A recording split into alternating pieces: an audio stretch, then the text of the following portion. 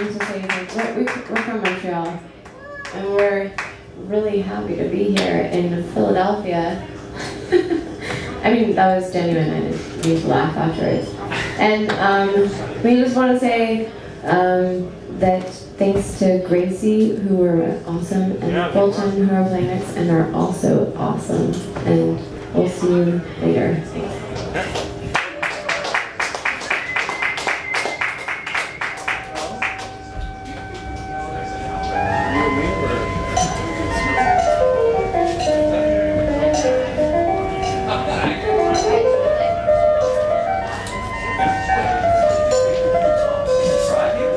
Ha.